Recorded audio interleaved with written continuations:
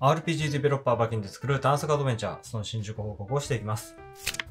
今回はマルタの中に登場するショップを作ってきました。ショップといってもよくある薬草を買う、売るといったタイプのものではなくて、スキルショップのようなものですね。例えば、狼の道場であったり、デビルメイクライのパワーアップといったものがこれに該当します。バキンには標準でショップ機能がついているんですが、見ての通り、項目を選ぶと必ず個数を選ばされたり、買った後に出るこの文言も、レイアウトツールの汎用メッセージっていうものが勝手に使用されたり、ショップ関連のレイアウトって結構仕様で固められてるんですね。これだと、狼のように習得した後、墨って出すこともできません。つまり、一度購入すると、もう買えなくなるといった仕様が作れないわけですね。これって言い換えれば、在庫の概念のあるショップが作れないんです。それなら、イベント用フリーレイアウトを使って、一から自分でオリジナルショップを作った方が早いなということで作ってきたのがこちらです。最初はメニュー画面の UI に合わせて、こんな見た目のデザインにしようかなって考えてたんですけど、いまいち面白くなかったのと、マルタが作業している様子を画面に映しながら、その他の情報も載せたかったので、いろいろ考えた結果、最終的に今の形になりました。このゲームには大きく分けて2種類のアクションが存在します。一つはマルタ自身が行えるツルハシと爆弾のアクション。もう一つはマルタが持っている通信機に関するアクションです。なので今回作ったショップはこれら2つを強化する内容になっています。ツルハシの耐久値を戻したり、爆弾を補充したり、あとは爆弾そのものを強化したりできます。下段は通信機関連ですね。少なくなったバッテリーを回復したり、機能を強化したり、だいたいこんなラインナップになっています。例えば今バッテリーが減っているんですけど、この状態でこの項目を選ぶと、こんな感じで選択肢が出て、特定のお金を払うと、はい、こんな具合にリアルタイムでゲージが回復していることが確認できます。同様に爆弾の最大所持数も強化してみると、こんな感じで下の UI にも反映されるようになっています。そして最大所持数である5に達すると、もうこの項目は選べなくなります。この状態でこちらを選べば爆弾の補充もできますね。あとは通信機の強化ですが、ここではライト機能を追加してみます。すると、もともとライト機能だった箇所がライト2に変わりました。これができるっていうことは、デビルメイグライでいうところのスティンガーを覚えたら、今度はスティンガーレベル2が出てきたといった演出もできるわけですね。それではこのオリジナルショップの作り方を簡単に見ていこうと思います。イベント用フリーレイアウトでショップを作る際に一番ネックだったのが、今選択されているカーソルに対して、それに対応したテキストを出せるかどうかっていう部分でした。今ね、この完成版を見てもらうとわかるんですが、一番目の選択肢になっているときは、ツルハシの修理って出ていて、え右に行ったときに、ちゃんとね、それに該当したテキスト文に変わって、必要なお金の数字も変わるっていうね、まあ、ごく当たり前の処理なんですが、これが最初やり方がちょっとわからなくて困ってたんですけど、いつもね、お世話になっているサナさんに聞いてみたら、それ確か以前のアップデートでできるようになりませんでしたっけって話になって、で、二人でいろいろと探してたら、えー、とうとう見つけまして、無事実現できるようになったので、そこも含めてね、見ていこうと思います。イベント用フリーレイアウトを新規で追加していきます。えー、先ほど見つけた項目っていうのは何かっていうと、えー、ここですね。選択項目を代入する変数。これですね。これ、一歩ね、この中にコンテナとか作って中に入っちゃうと、プロパティが変わっちゃうので、えー、ここではなくてこっちですね。大元の方を選んだ時に出るこの全体のプロパティ。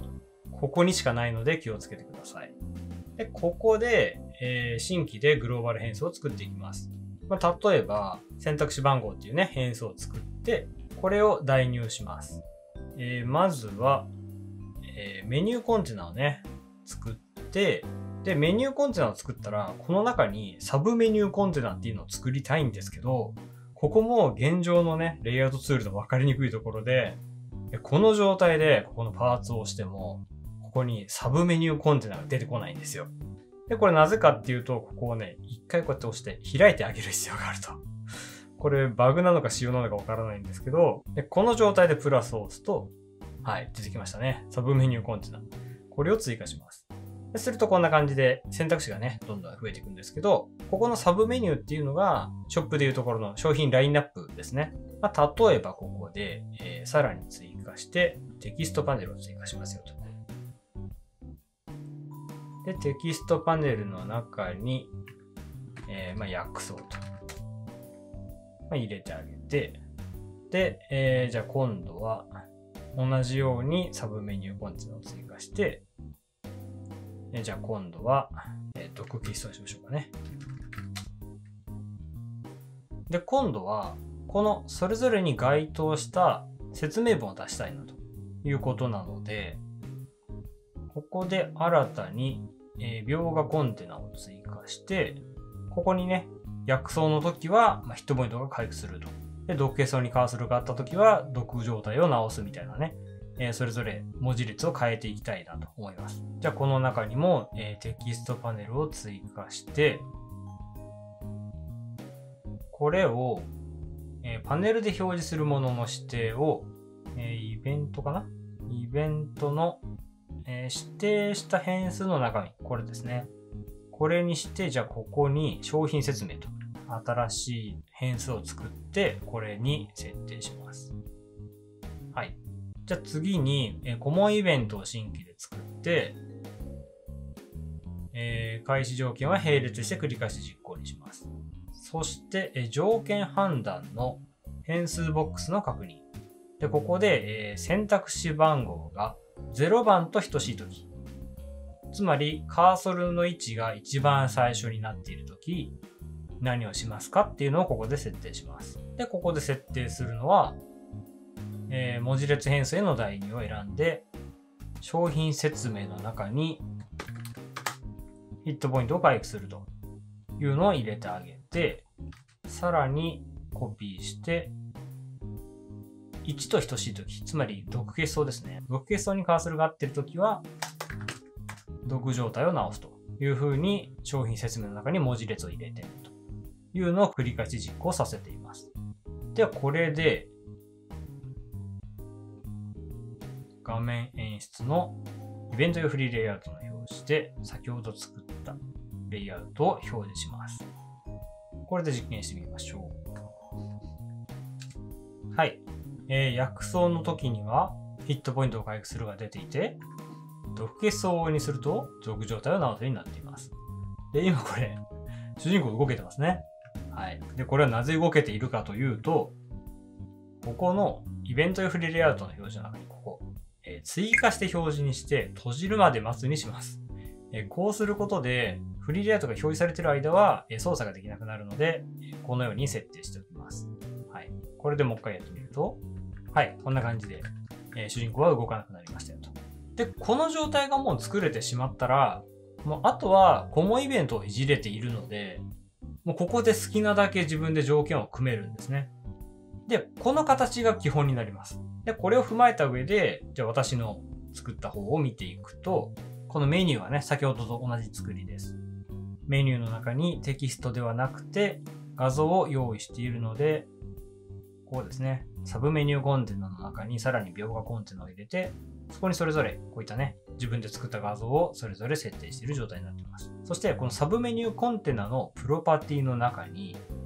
えー、こうやってね、アクションっていうのがあるので、ここで、えー、共通イベントを呼び出す。こいつを選んであげた上で、この下、共通イベントで、ここでコモンイベントをね、設定するんですけど、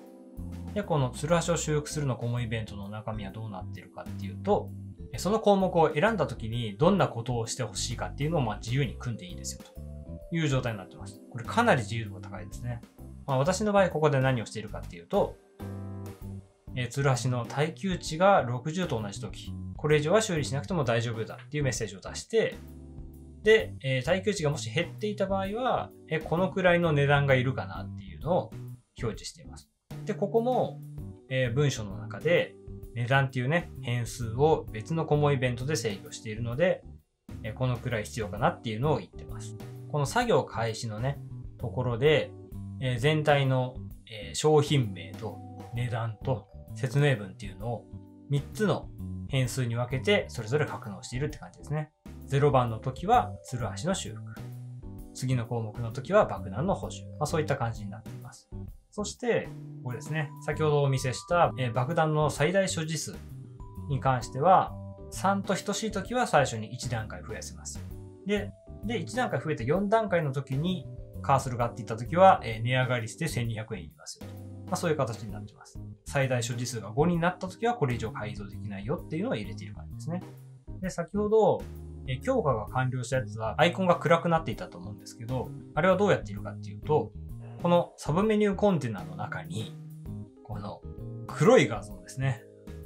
シンプルにこの黒い画像を上に重ねて表示しているって感じです。こう墨っていうね、コンテナにしてますけど。こういう感じですね。で、これの表示条件スイッチ。これもね、ちょっと前のアップデートで追加されたものですけど、ここで、えー特定のスイッチがオンになっていたら、この黒いのを出しているという風にしています。まあ、こうすることで、先ほど狼でやったような、えー一度習得したものはもう墨になって習得できないとか、まあ、そういったものが実現できます。あとは、このライト機能ですかね。ここも同じです。えー最初はこういう状態なんだけど、スイッチがオンになると2に変わって、さらにスイッチがオンになると墨になると。まあ、いうね、単純な仕組みで作れちゃうので、皆さんもね、オリジナルのショップを作ってみてはいかがでしょうか。はい、といったところで今回は終わろうと思います。それではまた次の動画でお会いしましょう。バイバイ。